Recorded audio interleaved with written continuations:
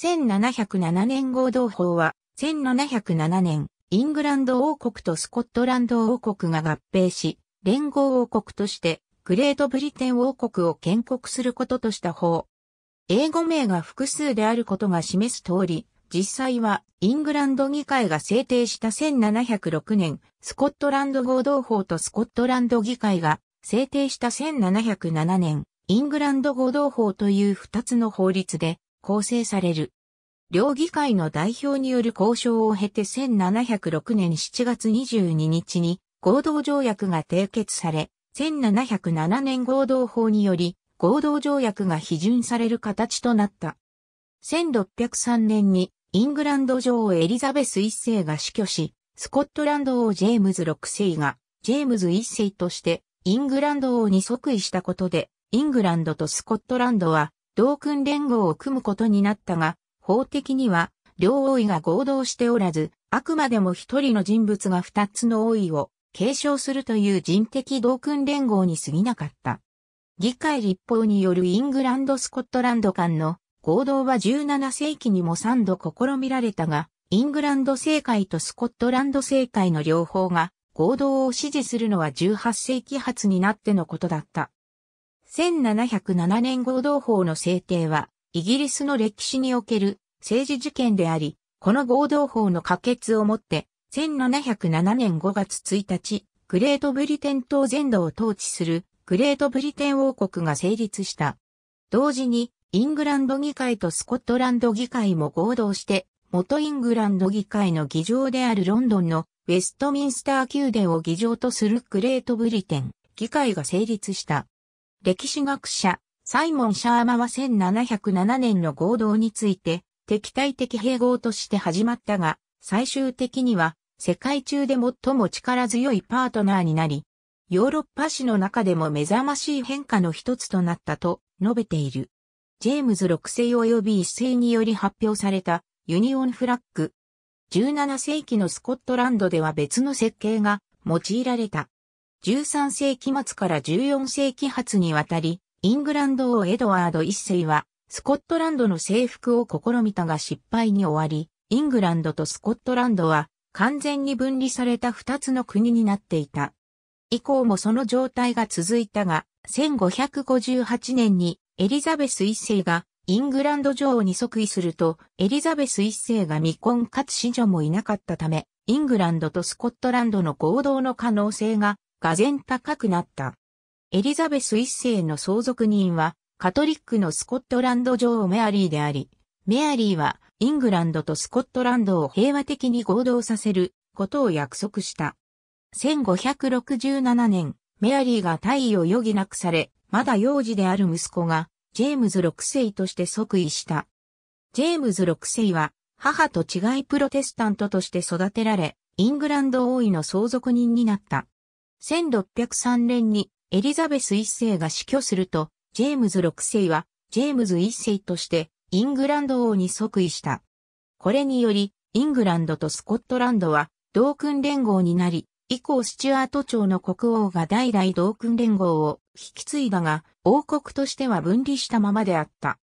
1603年から1639年まで17世紀では、宗教と政治が密接な関係にあったこともあり、ジェームズ一世は1603年にイングランド王に即位すると、合同への第一歩として、イングランド国教会とスコットランド国教会の合同を目指した。彼は即位にあたってイングランドとスコットランドという二つの国の君主になることを二人と結婚することに例え、重婚罪にならないようイングランドとスコットランドの合同を目指すと宣言し、国王体験をもってグレートブリテン国王という称号を使用、宮廷、ひいては自身にイギリスの風格を取り入れた。スチュアート家による国教会への反対により、スコットランドでは1638年に国民名約が成立した。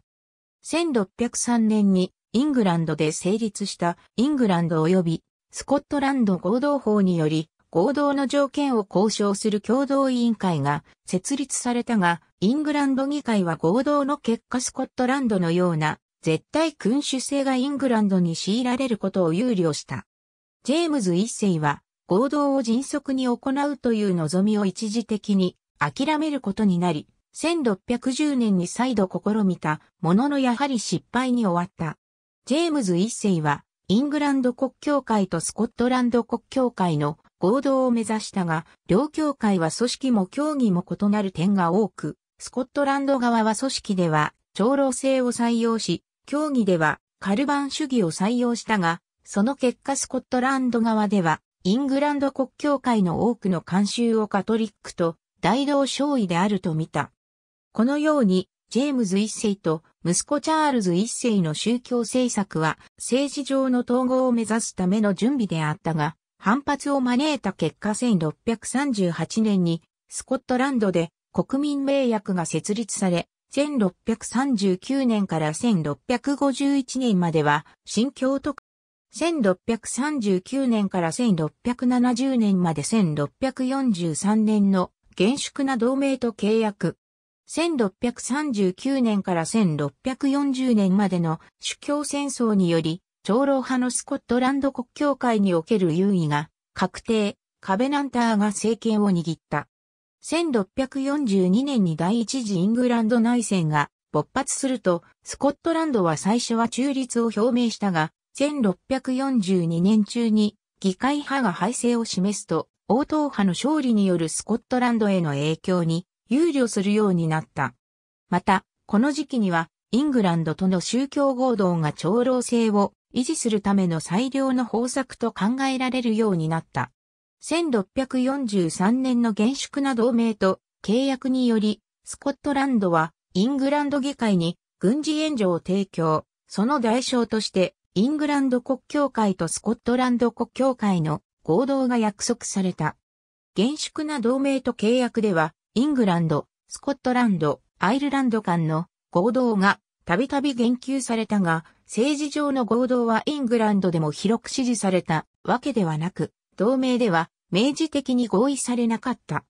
1650年のダンバーの戦いに敗北した後、スコットランドはイングランド共和国に併合された。イングランド国教会では監督制が主流であったが、監督制の支持者は宗教上の合同に強く反対、またオリバー・クロムウェルなどの独立派も宗教上の合同に反対した。そのため、スコットランドとイングランドの長老派は独立派の主導するニューモデル軍を応答派よりも大きな脅威として見るようになり、1646年にチャールズ一世が降伏すると、長老派はチャールズ一世のイングランド王福位に同意した。この時、応答派とカベナンターは、君主の即位については、王権真受説で合意したが、国王と教会の権威の本質と範囲では合意できなかった。イングランドとスコットランドの合同を示す共和国時期の旗。1647年から1648年までの第二次イングランド内戦で敗北したスコットランドはイングランド軍に占領されたが、制約派が政権から追い出され、代わりに長老派が政権を握ると、イングランド軍はスコットランドから撤退した。そして、1648年12月のプライドのパージにより、長老派議員が議会を追放され、1649年1月にチャールズ一世が処刑されると、クロムウェルによるイングランドへの支配が確定したが、スコットランドで政権を握っていた長老派は1649年2月に、チャールズ一世の息子チャールズ二世によるスコットランド、及びグレートブリテン王即位を宣言、イングランド王への福井も約束した。しかし、スコットランドは1649年から1651年までの第三次イングランド内戦に敗北、イングランド共和国に併合された。併合の理由はクロムウェルが戦争責任を長老派に返し、長老派の権力を瓦解させようと動いたためだった。1652年に合同令が、1654年4月12日に五国境によるイングランド及びスコットランドの合同布告が発され、イングランド、スコットランド及びアイルランド共和国が成立した。布告が1657年6月26日に第2回五国協議会により批准されたことで、イングランド、スコットランド、アイルランドの3議会が合同され、イングランド議会の議員に加えて、スコットランドとアイルランドがそれぞれ議員30名をウェストミンスターの議会に送ることとなった。合同により、共和国内で自由貿易が成立したものの、軍を維持するために重税が課されたため、経済上の利益はほとんどもたらされなかった。この合同は、スコットランドでは軍事占領を伴い、イングランドでは重税を伴って行われたため、どちらにもほとんど支持されず、1660年のイングランド王政復古に伴い合同も解除された。イングランドが1660年と1663年の2度にわたって公開条例を制定、さらにスコットランドの輸出先であるネーデルラント連邦共和国との英蘭戦争に踏み切った結果、スコットランドの経済は大きな被害を受けた。1668年1月にはイングランド・スコットランド通商委員会が設立されたが、イングランドがスコットランドから得られる利益が少なかったため情報に同意せず、委員会は成果を上げられなかった。チャールズ2世は1669年に合同に関する議論を再開したが、これはジェームズ1世が果たせなかった野望を果たそうとしたことと、スコットランドと敵国オランダの間の通商関係と政治上の関係を断ち切ることが目的だった。この時もイングランドとスコットランドの両方で反発され、年末には交渉が中止された。1670年から1702年まで1688年の名誉閣。この時、スコットランドの監督派聖職者は監督派によるスコットランド国境会支配を維持するため、イングランド・スコットランド間の合同を推進した。ウィリアム3世とメアリー2世も合同に賛成したが、イングランド議会からもスコットランドの主流派である長老派からも反対された。スコットランドにおける監督制が1690年に廃止されたことで、監督派聖職者ははしごを外される形になり、これが後の合同反対派の起源となった。1690年代のヨーロッパは経済衰退に苦しみ、スコットランドでも7強年と呼ばれる時期で、イングランドとの関係も緊迫していた。1698年、スコットランド会社は直居場を得て一般公募による資金調達に踏み切った後、東アジアとの貿易に向けてパナマ地境の植民地建設計画であるダリエン計画を推進。スコットランド会社への投資はほぼすべてスコットランドからの資金だったが、計画は大失敗に終わり、15万ポンド以上の損失を出したため、スコットランドの通商に大きな悪影響を及ぼし、これが合同支持への原動力の一つとなった。合同条約。1702年に即位した安城はイングランド・スコットランド間の政治統合を目標の一つにしており、安女王と大臣からの講演の結果、イングランド議会とスコットランド議会は1705年に合同条約の交渉に同意した。合同交渉にあたり、イングランドとスコットランドはそれぞれ代表31名を任命した。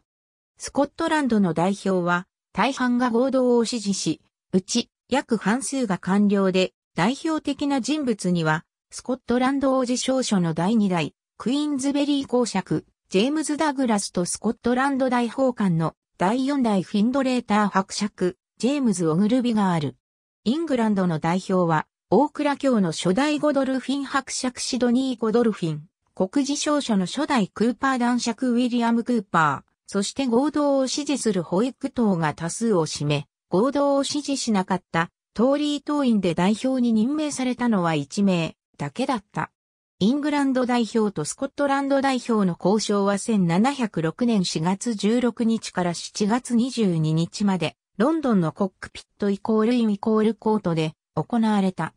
イングランドとスコットランドには、それぞれの目標があったが、結果としてはイングランドが、ハノーバー家が、アン女王の後継者として、スコットランド王に即位するという目標を、スコットランドが、イングランドの植民地との貿易権を保障するという目標を達成した。1706年7月に交渉が終了し、合同条約が締結された後、条約はイングランド・スコットランド両議会で批准される必要があった。スコットランド議会の議員227名のうち、約100名がコート派であり、不足した票数には、第4代、モントローズ公爵、ジェームズ・グラハムと、第5代ロクスバラ伯爵、ジョン・カー率いるスクアドロン・ボランテという当てがあった。合同反対派は、一般的には、カントリ派と呼ばれていたが、その内訳は、第4代ハミルトン公爵ジェームズ・ハミルトン、第2代、ベルステントン教ジョン・ハミルトン、アンドリュー・フレッチャーなど多くの党派の人物が含まれている。コート派はイングランドからの潤沢な資金援助を得ており、ダリエン計画で借金が重なった人物も多かった。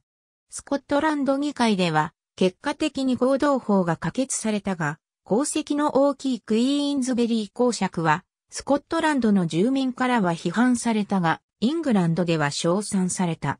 また、クイーンズベリー公爵はイングランドからの資金援助の約半分を受け取っており、1707年4月17日には、ケンジントン宮殿でアン女王に謁見した。アン女王、1702年。合同法制定の背景には17世紀末からから18世紀初のヨーロッパにおける中央集権の傾向がある。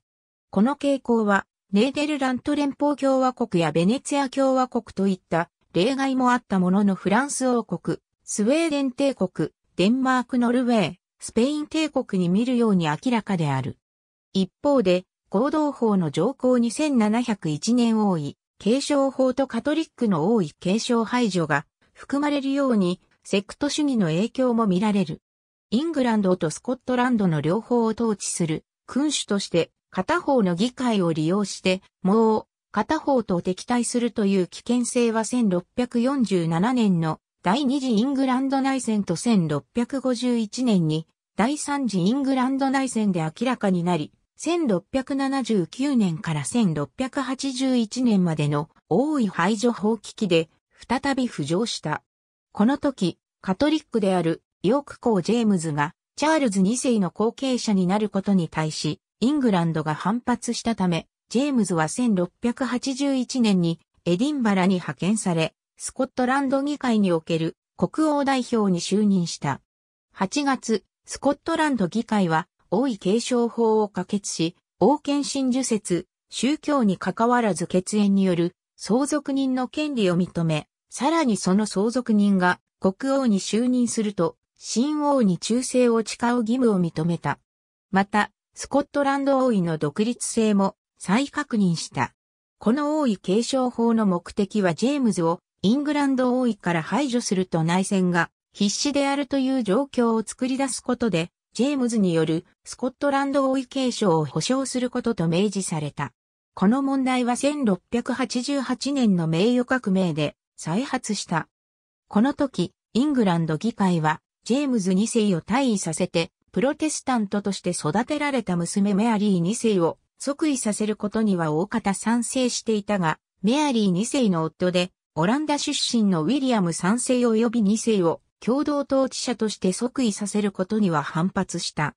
イングランド議会は後に譲歩したが、これはウィリアム3世がオランダに帰国すると脅し、メアリー2世も夫を即位させず自身だけで統治することに反対した結果だった。一方、スコットランドでは、長老派と監督派が、教会の支配をめぐって争っており、ウィリアム3世がカルバン派だったためその立場は、イングランドでの立場よりも強かった。ウィリアム3世は最初は監督制の維持と、スコットランド議会の条文委員会の維持を主張。スコットランドにおける王権をイングランドにおける王権より強くなるよう仕向けようとしたが、1689年ジャコバイト放棄によりその要求を撤回した。イングランド側の目的は、スコットランドとの同訓連合が解消されない、すなわち、イングランド王とスコットランド王が別人になることを防ぐことだった。イングランドとスコットランドは17世紀のほとんどの時期において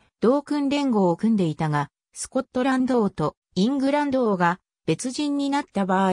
たとえスコットランド王がプロテスタントのままだとしても、反イングランド同盟に加担する可能性があった。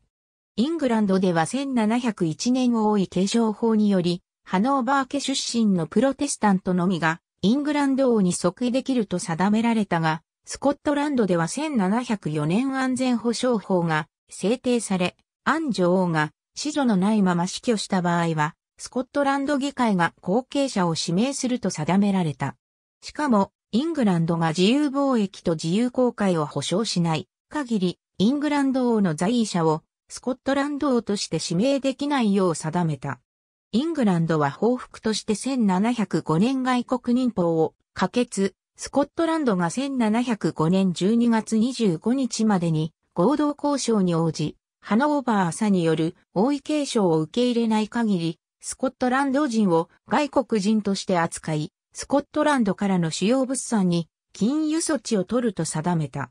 結果的に成立したグレートブリテン議会では、イングランド選出の議員数が、スコットランド選出の議員数より、はるかに多かったため、スコットランドが反対した程度では、法案可決を阻止できなくなった。スコットランド議会の開会式。18世紀フランスの作品。コート派とスクアドロンボランテの大半が合同指示に回ったことで、合同法はスコットランド議会を通過したが、その裏には多くの動きがあった。まず、スコットランドでは合同を受け入れることで、イングランドからの援助を借りて、ダリエン計画による損害から回復でき、1705年外国民法の懲罰措置を廃止させることができるという主張があった。そして、スコットランド議会議員の多くが、ダリエン計画に多額の資金を投資し、実際、合同法の第15条ではザイクイバラントと呼ばれる合計39万8085ポンド10シリングの資金がイングランドからスコットランドに支払われることが定められており、その名目はスコットランドの納税者がイングランドの国際支払いに貢献する金額をあらかじめ返還することだった。ザ・イクイバラントのうち58.6%がスコットランド会社の債権者と株主に支払われたため、実質的にはダリエン計画の投資者への保証となった。イングランドからの増賄も要因の一つであり、2万ポンドがスコットランドに送られ、初代グラスゴー伯爵、デイビッド・ボイルがその分配に当たった。うち、スコットランド議会における女王代表であるクイーンズベリー公爵だけで、その6割以上に当たる12,325ポンドを受け取っており、この贈賄は18世紀末の詩人ロバート・バーンズの風刺詩の対象になった。イングランドから送られてきた資金は贈賄のほか、ダニエル・デフォーなどスパイを雇うことにも使われ、デフォーはスコットランドにおける合同反対デモについての報告を送った。同時代の合同支持派、第2代准男爵サー・ジョン・クラークは後に回想録で、もしデフォーがスパイであると見抜かれたら、エディンバラのボートは彼をズタズタに引き裂いたのだろうと書いた。合同条約は当時のスコットランドでは憎まれており、エディンバラやグラスゴーで暴動が起きた。エディンバラではデモ行進があり、合同反対派の指導者は第4代ハミルトン公爵ジェームズ・ハミルトンとされたが、後にハミルトン公爵が、実は政府側であると判明した。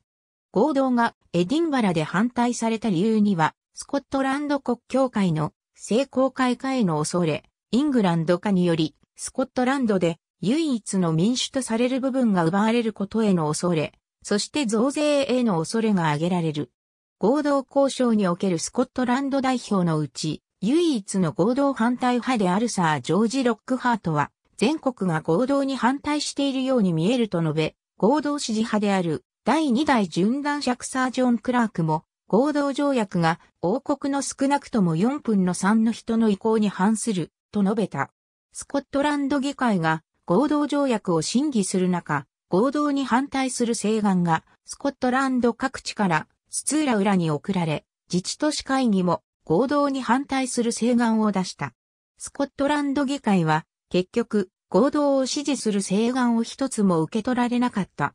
合同条約が署名された日、エディンバラのセントジャイルズ大聖堂のカリオネアは、なぜ私は結婚の日にそこまで悲しむのかを演奏した。やがて、議会は、社会不安を鎮めるべく、戒厳令を敷いた。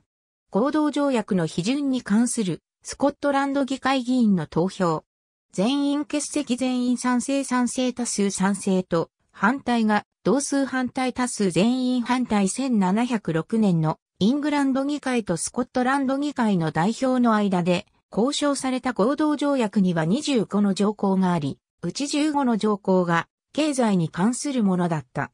スコットランド議会では各条項が一つずつ採決にかけられ、条項の一部は個別の小委員会に委ねられた。第一条はイングランドとスコットランドの合同、並びにそれに伴う国旗、国章などの変更についてであり、1706年11月4日に賛成116票、反対83票で可決された。スコットランド国教会からの反対を抑えるため、1707年プロテスタント宗教及び長老派教会法というスコットランド国教会の地位を保障する法が可決され、これにより国教会は公的には反対しなくなったが、下級聖職者からの反対は続いた。そして、1707年1月16日には、条約全体が採決にかけられ、賛成110票、反対69票で可決された。第22条により、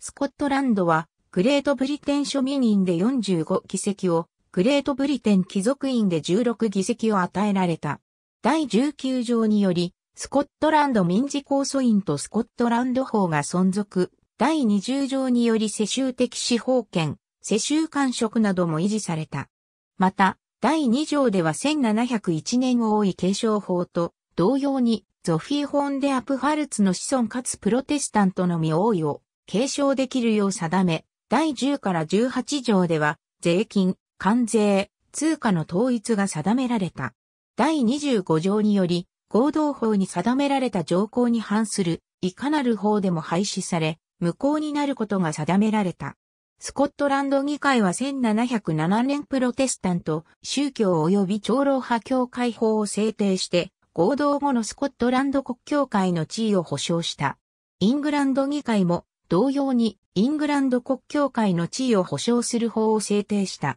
合同直後には1707年、スコットランド合同法が制定され、イングランド枢密院とスコットランド枢密院の合同が定められた。また、スコットランドのシャイアに治安判事を任命して、スコットランドの行政に当たらせたことで、スコットランドの行政が政治家から治安判事に分散した。